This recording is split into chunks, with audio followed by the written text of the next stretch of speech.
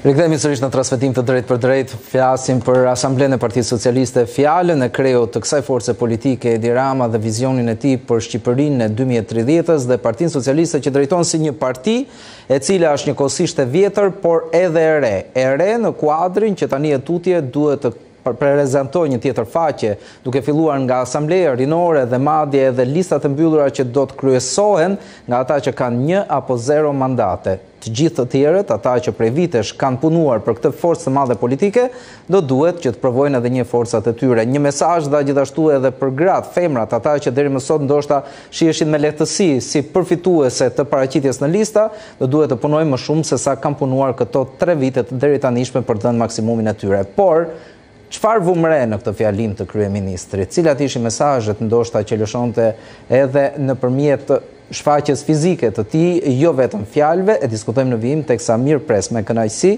analistin Plator Nesturi, faleminderit zoti Nesturi që jeni me ne. Faleminderit juve. Vutë re diçka të pazakontë në fjalimin e Ramës apo ishte krejt e natyrshme për një asamble të kësaj force politike që sot ka tre mandate?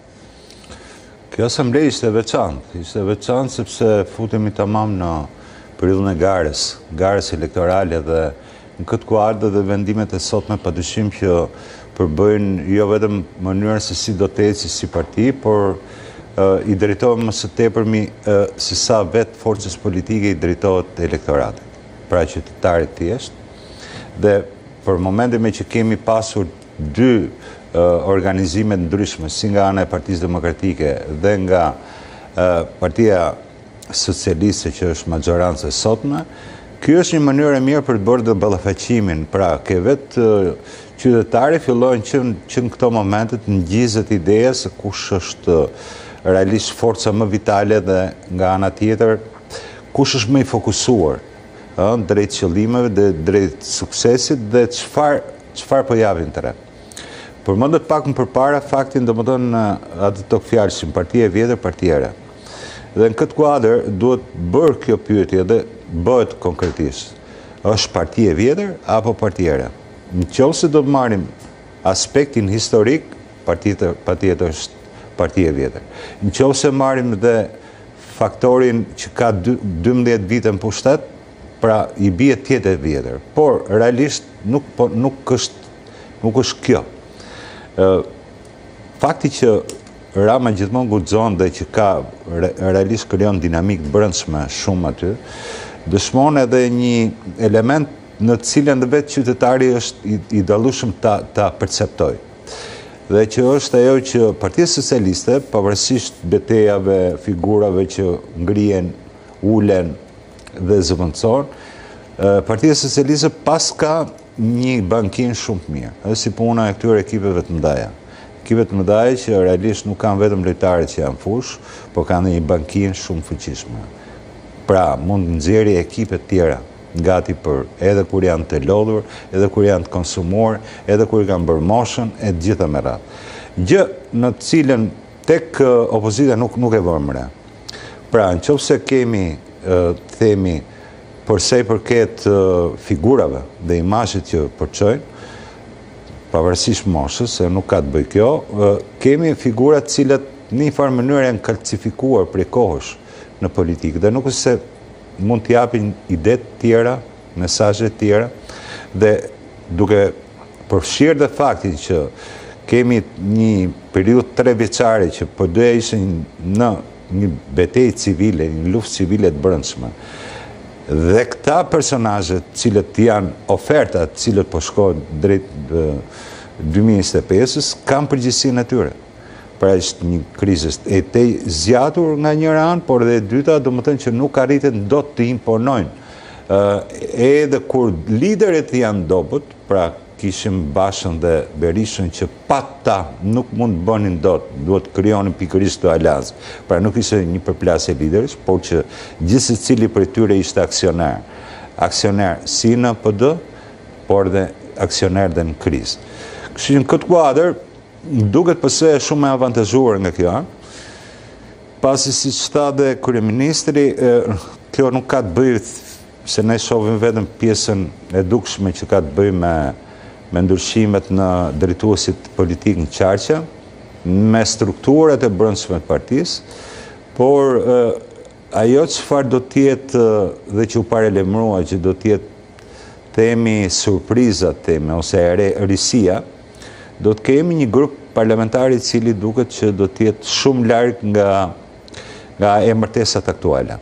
Dhe në këtë kuadër kjo tregon që ka një parti që ka vitalitet dhe që Rama e, e synon gjithmonë këtë gjë që të krijojë vibrime të brendshme në mënyrë që të mos ketë vetëkënaqësinë e pushtetit, mos ketë aspektet tjera, por që nxit edhe garën dhe konkurrencën e brendshme aty, dhe gjithmonë aty ku ka ka mundësi për të për t'u evidentuar, për të ecur përpara, për të krijuar karrierë. Kjo padyshim që është më i josh pikërisht edhe edhe kontributet e reja politike. Megjithatë, zoti Nesturi, ndryshe nga opozita që duket se i ka besnik të sajët, në radhët e Partisë Socialiste kemi vënë re që nëse dikush i heq pushtetin, mërziten, tërhiqen, nuk angazhohen, vetë kryeministri e ka thënë diçka të tillë, duke i nxjerrë figurat e njohura të partisë së tij në listat e hapura ku do duhet të luftojnë për vendin e tyre për të qenë deputet i Partisë Socialiste, mos ndoshta i bën të jenë më neglizhent për punën që duhet bëjnë për votat e partisë? Shiko, nuk e kuptoj këtë fjalën besnik, domethënë ke Partia Demokratike. Bile kjo luftë e egër që ndodhi aty ishte pikërisht kjo gjë, sepse u nxorën thikat dhe dhe çomangat për duke godit njëri-tjetrin dhe kjo nuk ishte mbi bazë parimore. Megjithatë, ja tek janë sërish, Gazment Bardhi është ndër të preferuarit, është nënkryetari i kësaj partie. Nqoftëse hidhemi ke pjesa tjetër, realisht problematikat e brendshme në të opozitës shqiptare nuk është se janë kanë reshtur. Madje dhe mënyra dhe dhe lista e re e drejtuesve politikë të opozitës, Partisë Demokratike, pati një debat shumë të madh. Pra, a është kjo lista fituese? A është kjo lista e njerëzve që mund na garantojnë fitoren? Debatet e forta që ka pasur brenda Partisë Demokratike për emra të ndryshëm, për karrierën e tyre, për qëndrime të caktuara që kanë mbajtur në periudha të ndryshme, dëshmoi që pikërisht nuk është se Ka ngjallur ndonjë optimizëm. Përkundrazi, ka ngjallur të themi debate të brendshme dhe, dhe jo të vogla. Edhe mëri gjithashtu. Kështu që në këtë kuadër, ky është një, një problematikë në cilën Berisha vërtet tha që tani duhet të kalojmë nga mbrojtja në sulm, por sulmin unë realisht po shikoj që në një farë mënyre si puna grepave, cilat fillojnë dhe pickojnë njëri-tjetrin kur s'kanë me çat merren. dhe nuk është se po ndodh ndonjë element tjetër që të ketë vlerë për qytetarin.